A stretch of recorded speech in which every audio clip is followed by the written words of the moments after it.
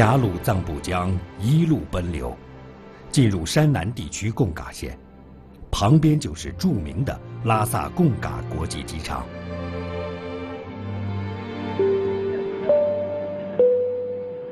女士们、先生们，飞机大约在三十分钟后到达拉萨贡嘎机场，当地的地面温度为十五摄氏度，六十三华氏度，飞机已经开始下降，请您调直座椅靠背，放下座椅扶手。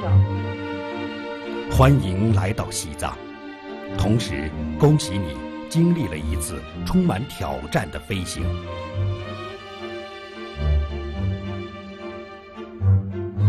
拉萨贡嘎机场海拔超过三千六百米，每天超过四十个航班起降，高峰每小时一千三百人次的吞吐量，让这片空域空前繁忙。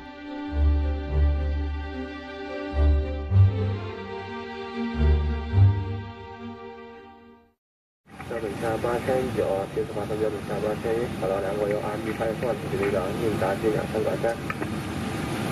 呃，巡航高度八千九，起始高度八千一，使用跑道两轨右。每一次起落都是挑战。西藏境内多高山，平均海拔在四千米以上，空气稀薄，气候恶劣，被世界公认为飞行难度极高的空中禁区。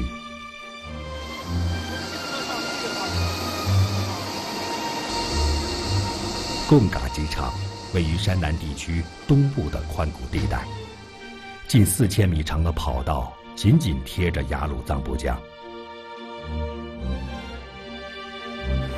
如果不是借助千米宽的水域开辟出的巨大空间，以及河道内相对稳定的气流，高原上如此大规模的飞行，或许还要等很长时间。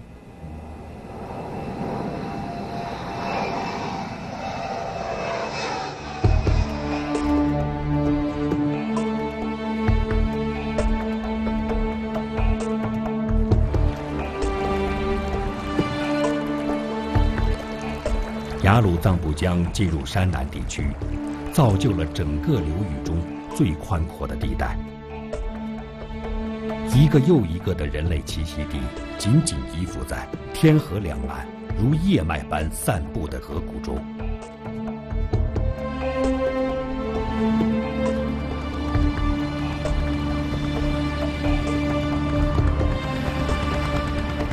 山南在西藏所有地市中面积最小，但人口密度仅次于昌都。从2006年开始实施的安居工程，已经帮助了近十万户家庭从旧房迁入了新居。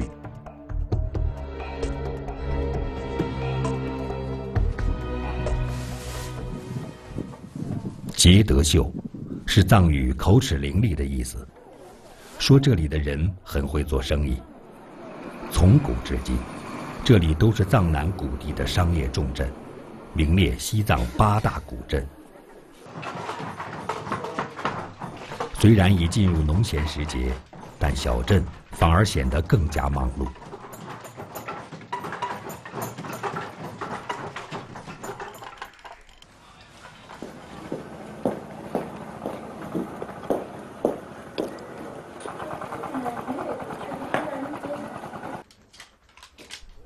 二十五岁的卓嘎是村里小有名气的编织高手。每隔一段时间，他都会腾出空来给初学者做做辅导。一架木质织机的复杂程度不亚于一架钢琴。经过半个多月的练习，女孩的技术突飞猛进，这让卓嘎感到欣慰。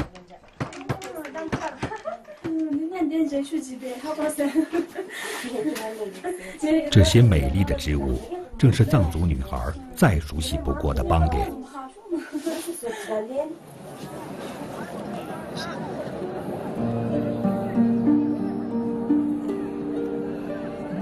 邦点就是彩色围裙，它由三片织好的面料拼接而成，中间一条代表家庭主人，右侧的代表自己，左侧的代表子孙后代。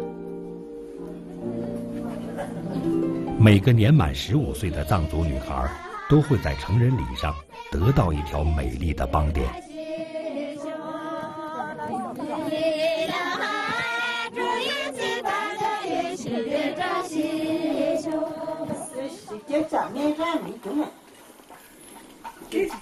杰德秀邦点，过去只供应官府和贵族使用，历史超过五百年。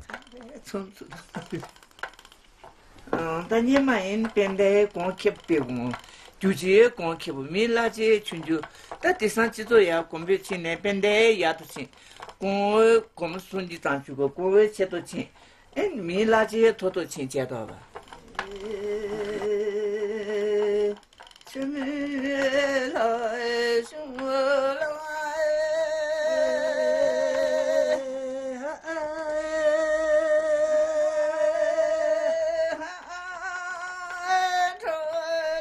老人们三三两两坐在一起，将羊毛纺成线，纹理和韧性，全凭几十年的手感与经验。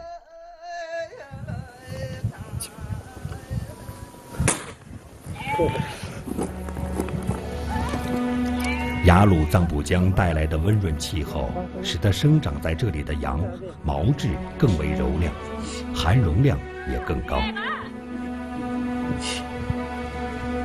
除了优质的羊毛，水更是杰德秀邦店出类拔萃的一个重要原因。这一带轻柔而带有弱酸性的水质，能够让漂洗后的织物色泽均匀、艳丽、经久不退。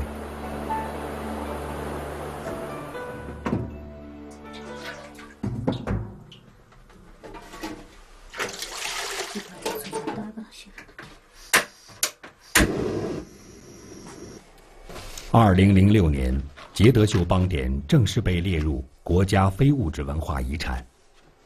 卓嘎的父亲是邦典技艺的传承人，但不幸的是，几年后父亲因病早逝，邦典传承的重任压在了卓嘎与母亲的身上。我从十三岁开始学邦邦典，刚开始学的时候挺开心，然后。一学两学就有点难，但这毕竟也是我们民族的那个传统手工艺嘛。然后我也比较喜欢，有点难也嗯，我也没什么在乎。近年来，随着旅游业的发展和人们生活水平的提高，杰德秀邦点的市场需求越来越大，价格也越来越高。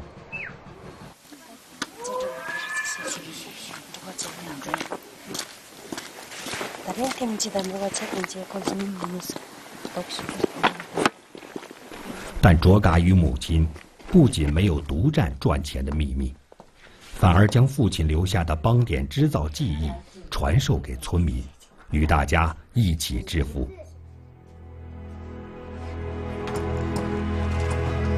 如今，杰德秀镇的邦点销售额每年超过八百万元。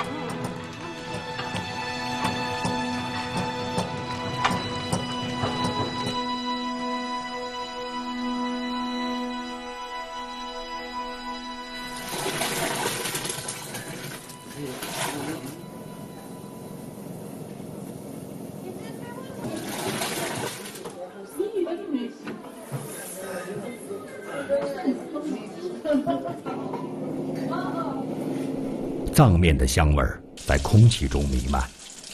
杰德秀又开始了忙碌的一天。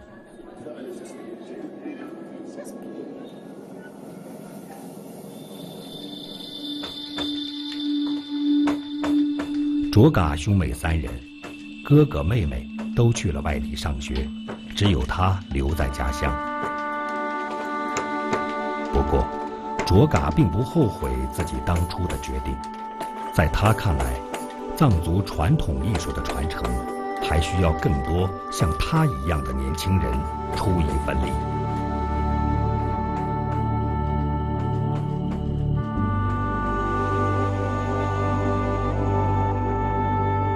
深秋的河谷天气转凉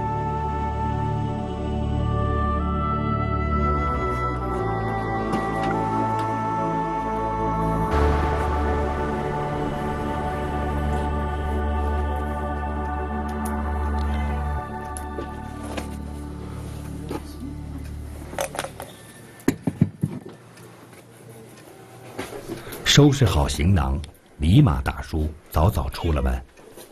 他今天的身份不是农民，而是老师。我现在教我几件事，觉得小文强教我几件事过吧？现在，啊，教我几件事，我就在爸爸讲，现打个让来买呗。啊，觉得小文强想长大就先打个让来买吧。这是一堂每个杰德秀小孩子都要参加的室外课。米马大叔不要报酬，十几年来，全凭义务给孩子们上课。我小时候在举行为铁拐杖做的，现在铁拐杖有我比下多大，家长姐姐，等你做下，啊，大家啊你莫推荐的，啊你双刀也那些，啊你推荐嘛说都听掉的。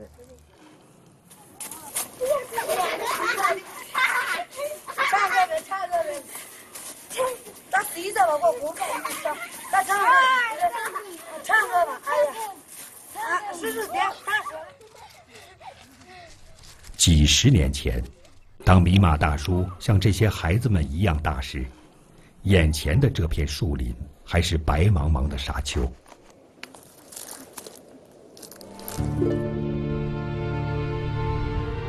每到枯水季节，雅鲁藏布江的水位骤降，泥沙沉淀，宽阔的河床裸露出来，形成大面积的沙化地带。一旦起风，沙尘以每秒十七米的速度蔓延到周边，给农牧民的生活和耕种带来极大影响。沙进人退。风沙把美丽的田园一片一片吞噬。风大的时候，早上风就这样，东北来的，全部就这样冲过去的。下午还有六点七点时候，鸟风就这样，西边来的就这样，树树根子他们挖的，这个麻烦的很。三月四的时候，风大的时候，劈鸡劈不了。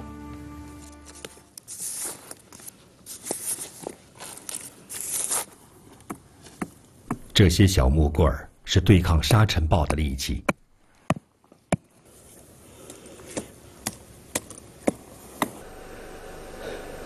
将它们插成一米见方的格子，再均匀地撒上草籽，如此反复。直到插满整个沙丘，格子固定了沙丘，保护了草籽不被吹散。等小草生长起来，牢牢抓住了土地，人们就可以在这里植树造林了。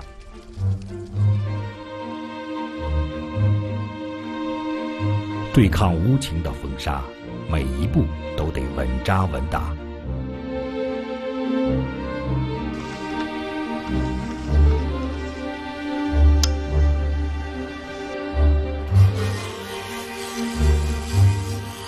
入秋以来，边九已经在雅江北岸工作了一个多月。在三年内，将眼前的七百多亩沙丘变成树林，是边九在签订承包合同时对政府所做的承诺。环境好，的人身体好，这就这样没有沙子上面全是就这样的话，人老人家还有这小孩这个上面走起的话，这个病多出来了，感冒、干燥，就这样出来。树多的话，环境上面好的话，病少。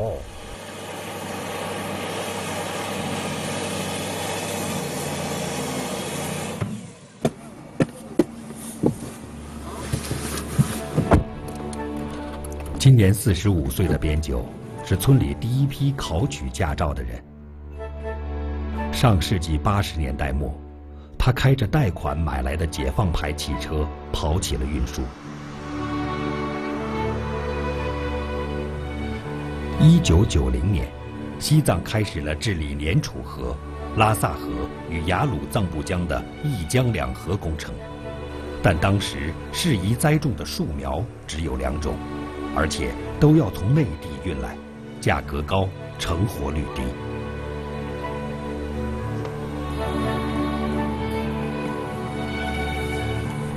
十年前，当地政府将这四百亩苗圃地交给了头脑活跃的边九经营。从此，他的工作从搬运树苗变成了培育树苗。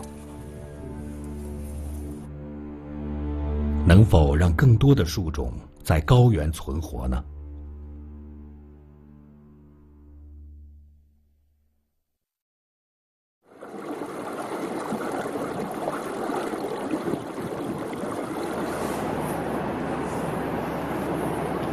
冬去春来，又是新的一年。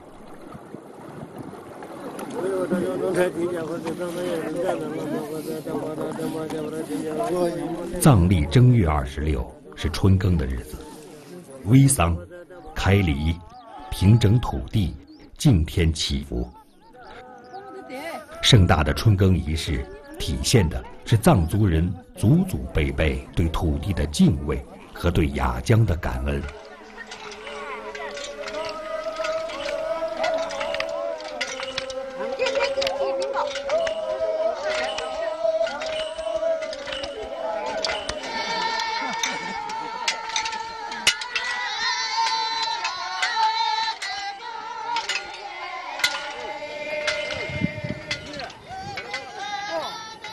去年种下的草方格都顺利长出了新草。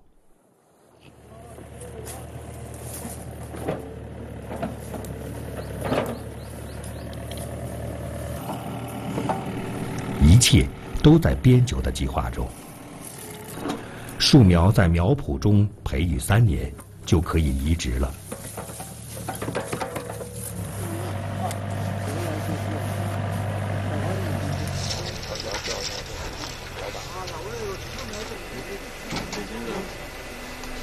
编酒的树苗卖得很便宜，每棵只要五元钱，但很有可能也很贵。小孩子们家生水，哦，家生水下来的，他看见得不起这个。嗯，我的钱全人平常呢做，感觉落地你，说呢感觉阿个没打牛巴个。嗯，个对这个新的酸的人，俺这点，新的米多呀买不着钱，我当着这个。啊，网一把。嗯。很好，还是。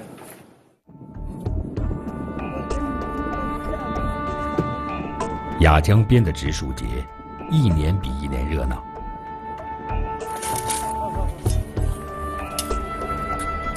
时代的发展，编酒的努力，让树苗的成本得到了降低，存活率有了提高。更重要的是。大家也切实享受到了这些年植树造林的成果。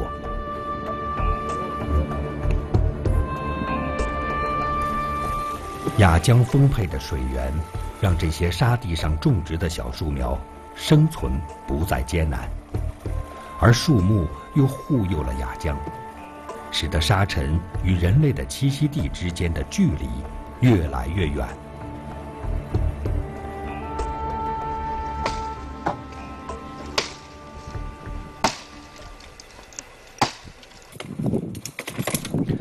每隔三年，人们都会把柳树的枝条砍掉。这样做，既可以防止柳树的老化，促进生长，同时，砍下的枝条按户分配，可以供大家日常家用。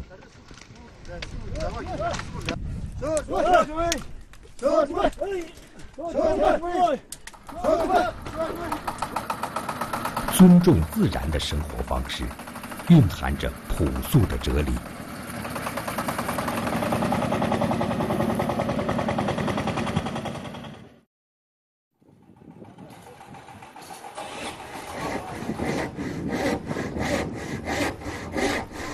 白马望堆是西藏石雕艺术的第六代传人。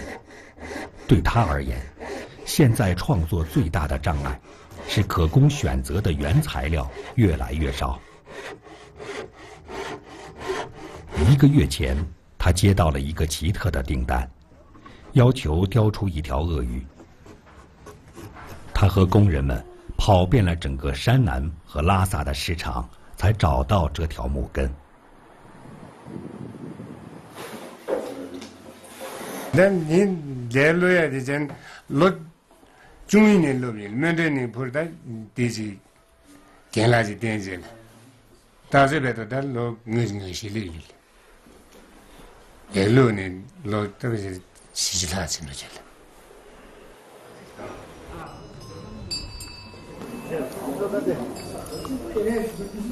在西藏，最极致的艺术表达常与宗教有关。敏珠林寺是西藏的六大佛寺之一，始建于公元十世纪。寺庙中的这些雕刻，都是出自白马的祖师之手。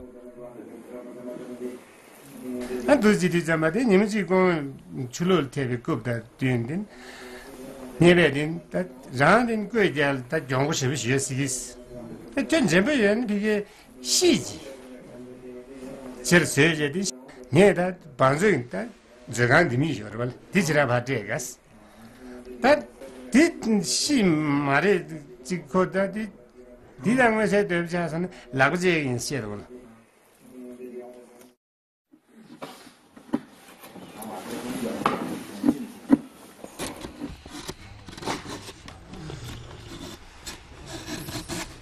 군이 된 공을 구대도 아 구대리 좀마다 공을 배대 좀마다 니저세 가게 시주도디 디남다 말레스 드스나도 데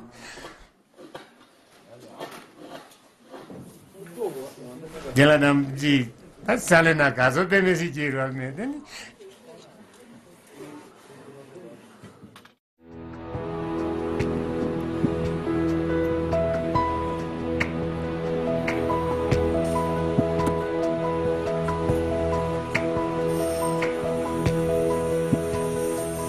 虽然适合雕刻的木头越来越难找，但白马相信，只要用心观察，一定可以物尽其用。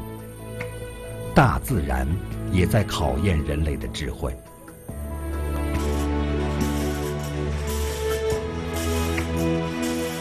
随着年龄的增长，谁能接过他的刻刀，成为石雕艺术的传承人，变成了白马越来越关心的问题。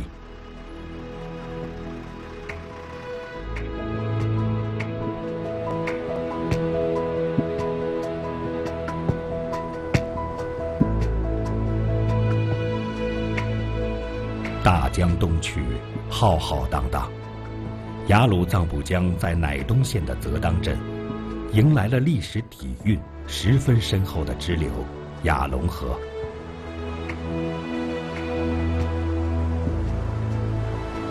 雅龙河意为从上游下来的大河，远处的雅拉香波山是它的源头。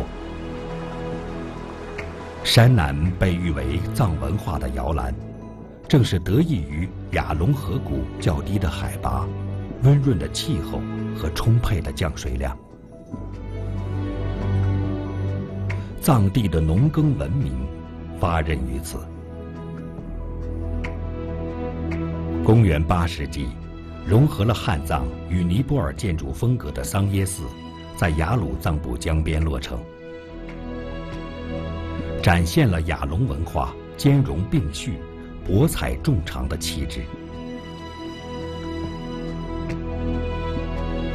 如今，这片河流冲刷出的平原沃土，养育着近万户家庭组成的十八个居委会和三十二个行政村。二零一四年，乃东县的生产总值达到了三十四亿元。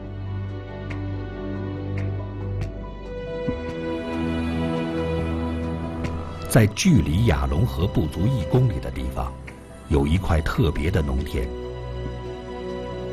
它的面积不足两亩，年龄却超过了两千岁。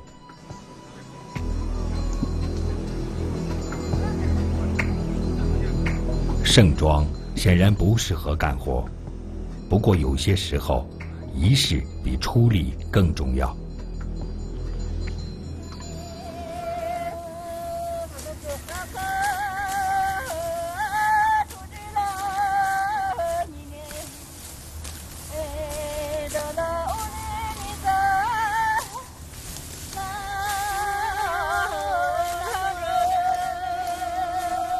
前二世纪初叶，雅龙部落的聂池赞普在雅龙河谷称王，人们在山顶处为他修建了传说西藏有史以来的第一座宫殿——雍布拉康，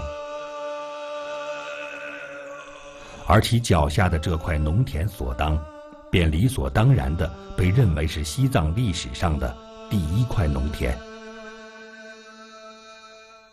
从此，他们交相辉映。见证着西藏文化的传播与发展。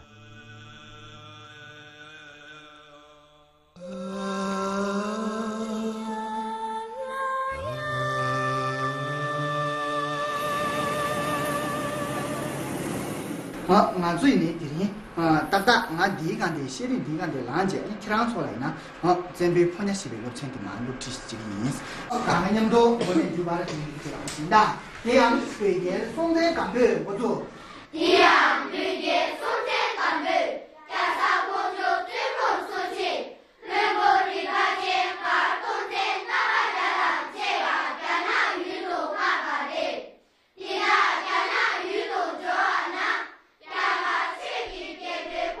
这段课文描述的是中国历史上的一段美好的姻缘。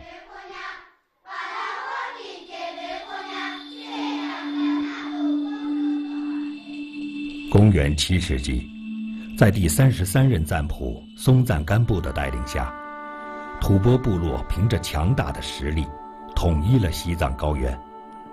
而后，他与唐朝的文成公主完成了汉藏和亲。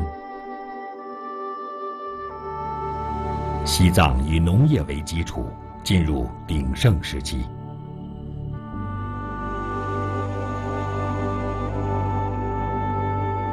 布达拉宫又开始了一年一度的大粉刷。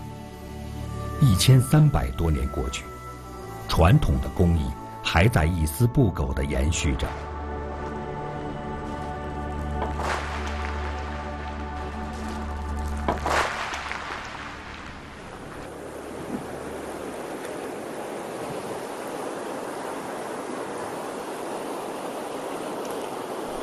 在亚龙河的支流琼结河河畔，这些庞大的墓冢里，安葬着包括松赞干布在内的二十一代藏王。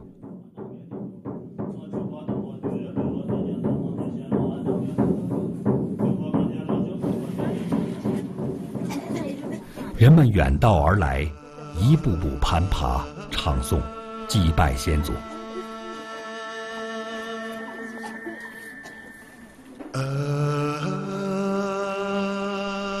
顺流而下，在林芝市的朗县，这些古墓静静地矗立在雅鲁藏布江畔。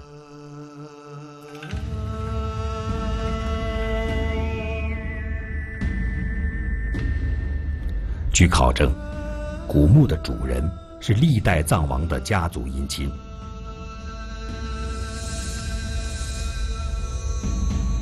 而耐人寻味的是，建造古墓所使用的封土，竟然来自两百公里外的雅龙河畔。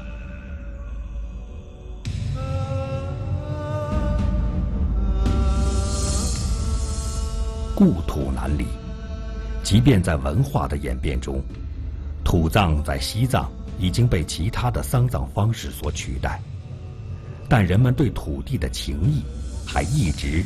潜藏在心里。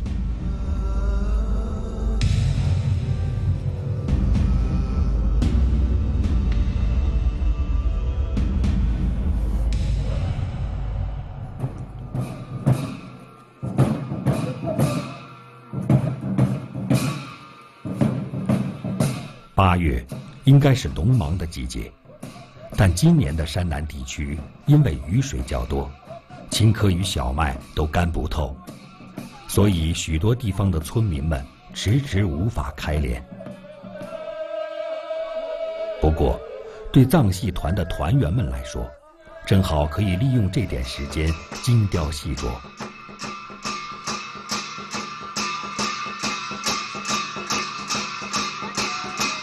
藏戏起源于公元八世纪，原本是一种宗教仪式，随着时代的发展，渐渐地演变为一种以唱为主、多种艺术表达形式相结合的生活化表演。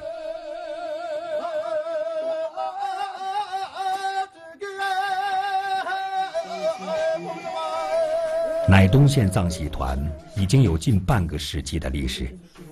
现任的团长巴桑，从小就随父亲进了戏团。一九七九年，他们第一次参加了雪顿节的藏戏表演。后来，随着老一批队员的一个个离去，年轻人又更多的希望走出去读书、打工，戏团的发展曾一度陷入危机。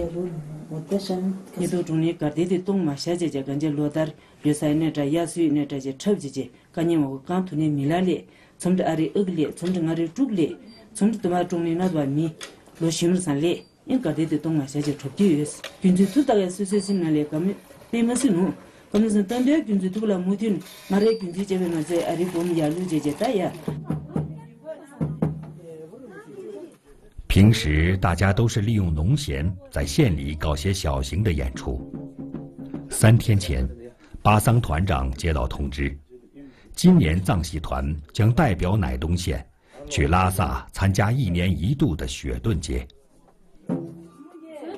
时隔三十五年，能再次踏上西藏最大的舞台，巴桑和新团员们在激动之余，也感到肩上的压力突然增大。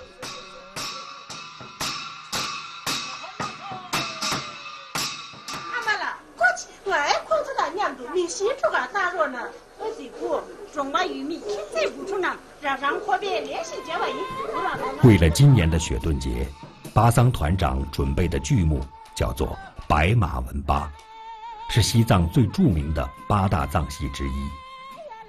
这部剧主要讲述了一个藏族青年白马文巴为父报仇，并最终夺取王位的故事。这也是乃东藏戏团最为拿手的剧目。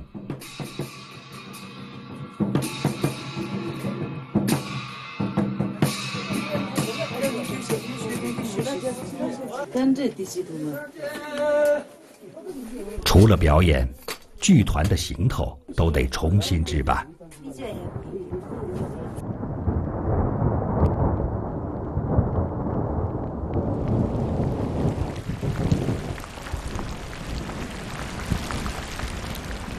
鼓是中国民乐中的灵魂，在藏戏器乐中也不例外。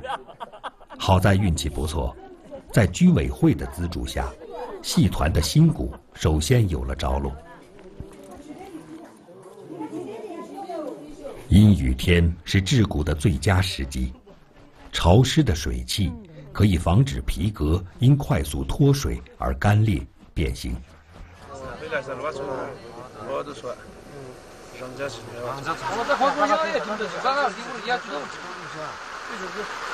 一、二、三。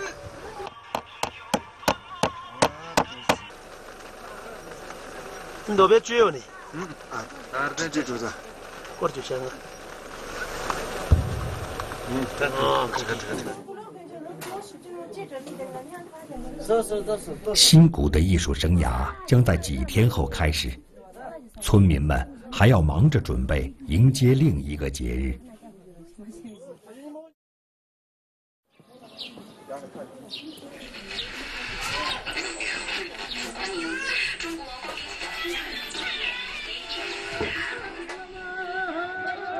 天终于放晴了，白马云丹早早起了床。今天的活动必须盛装出席。三年一度的村委会换届选举在今天举行。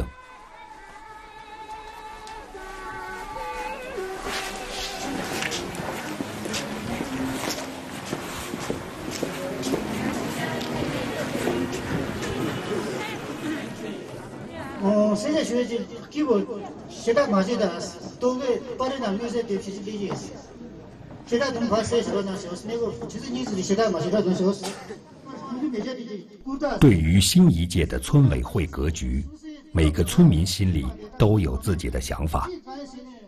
这一次，六十九岁的白马云丹担任监督员。从一九六二年的第一次选举到现在，这是他参加的第五十二次投票。tā chikdō kubje chukchū rīñī ki lōya ki tā dēmgu tā ān tā lōya ki dēmgu nā chā shā tūna chāng ki tā gyūndō tā mā shīni chāp shā tā shīn yé tēn rās mās ān māngzō ki rīñī ki chūcē yé nā tā thor shā tā shīn yé dēl tē nā ān tēn tē ki nyamā nā shīni tā shī chē chē dēm yū mō gō ā sō sō sō sō sō yī ki chē chē ān yé bās chē chē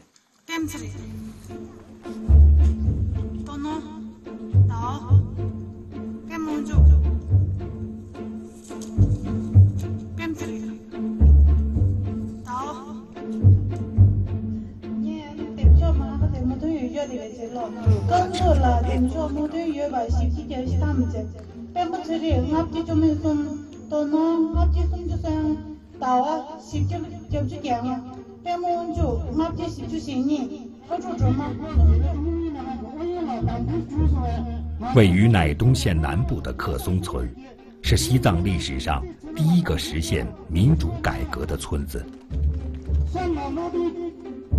的是。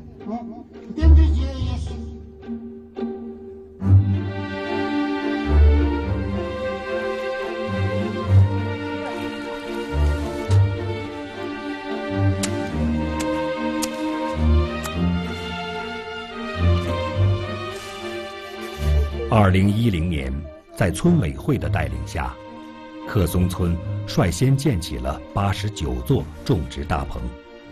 从内地引进的蔬菜种子与种植技术，扩充了农民耕种的多样性。世世代代以种植青稞为主的克松人，开始学着培育有机蔬菜。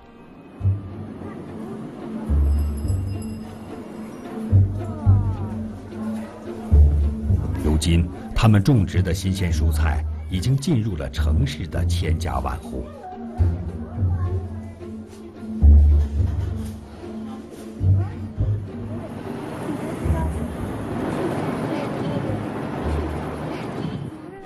虽然糌粑依然是藏族人最喜欢的主食，将炒熟的青稞研磨成糌粑粉，也依然是在利用水流的力量。但它的机械化程度已经明显的与时俱进了。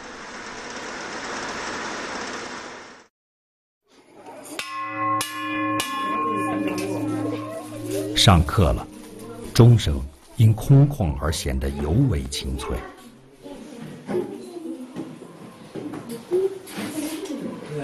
上课。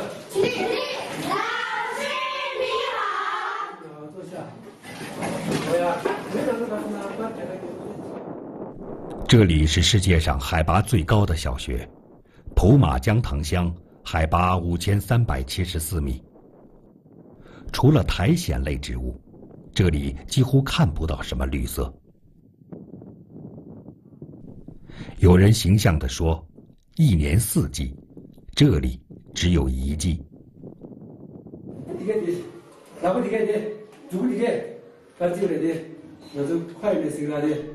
半年前，西藏文联的摄影家协会送来了十几台相机，一下子成了孩子们的宝贝。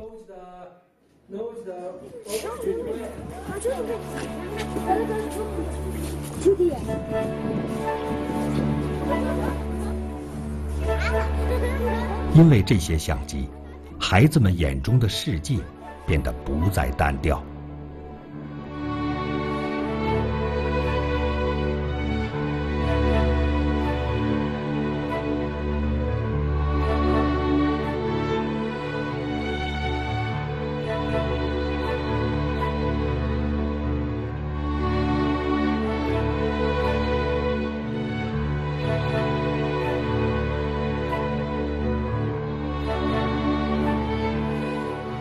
又是一个春天，边九继续扩大着它的苗圃面积。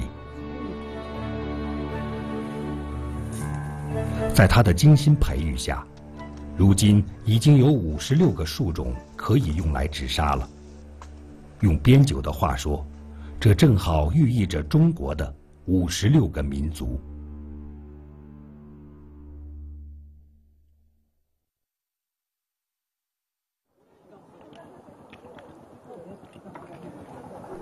接德秀镇，卓嘎的新厂房正在加班加点建设。아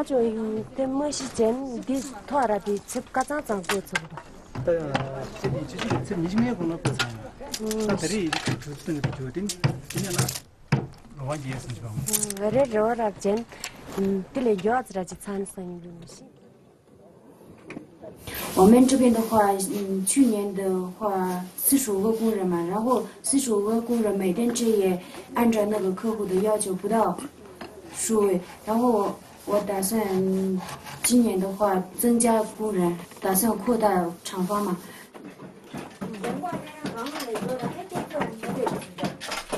今年年底工厂就可以完工了，岌岌可危的文化遗产焕发出了新的生命。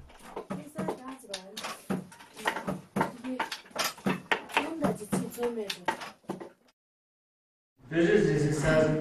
他几万多些，这人是就是这些，他嗯，还不都是老，因为这个是现在呢，就是他主要是。白马望堆在家乡带起了一阵石雕艺术风潮，从雕刻到染色，再到最后的绘制花纹，他将自己所有的经验都毫无保留地教授给学生们。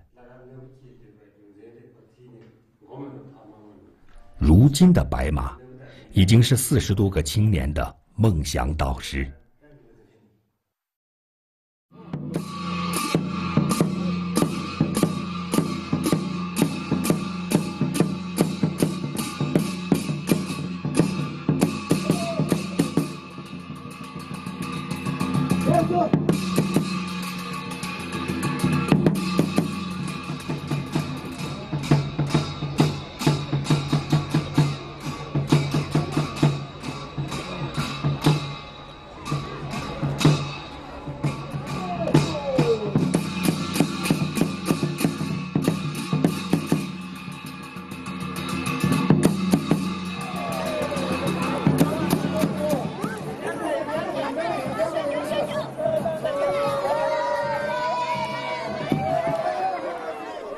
雪顿节上，来自各个地区的十四支藏戏团参加了汇演。乃东藏戏团的演出持续了整整一天。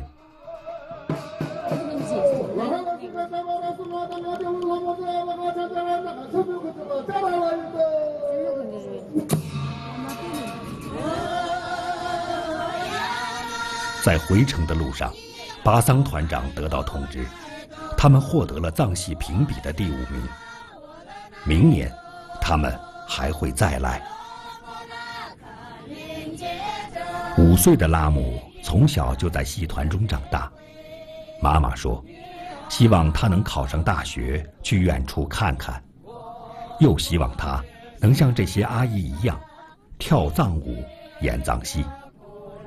不过，归根结底，以后的路还得拉姆。自己选。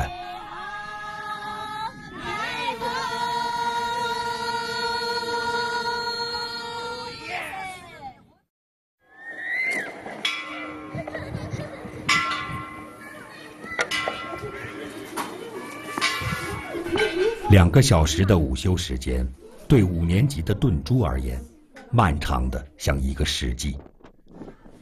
下午的摄影课。老师将点评大家的寒假作业。这是谁拍的？这个吗？这是。谁拍的？那这个你怎么继续？谁拍的？我拍的。我拍的是吧？这出是呗？这个出其实很漂亮，你看。以后同学们记住啊，看一下这里。孩子们的照片，也许并不工整，但这些都是他们眼中美丽的家乡。孩子们记录下了今天的生活，未来，他们每个人都有可能成为世界了解西藏的窗口。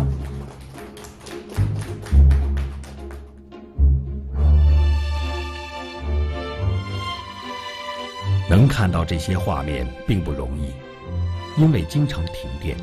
校长将这些照片断断续续传送给我们，足足花了一周的时间。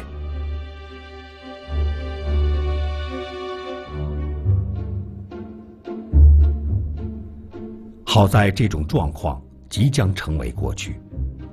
距离普马江塘小学四百公里之外，在雅鲁藏布江告别山南的地方，一座水电站已经联网发电。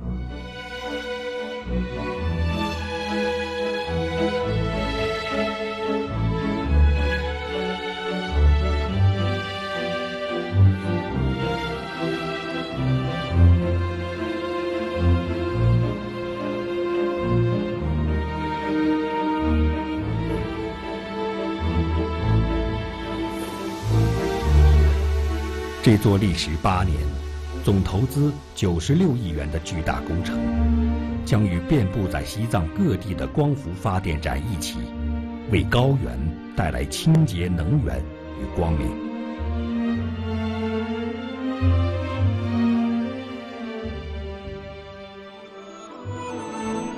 依靠天河，繁衍生息，以前进的姿态守望文明。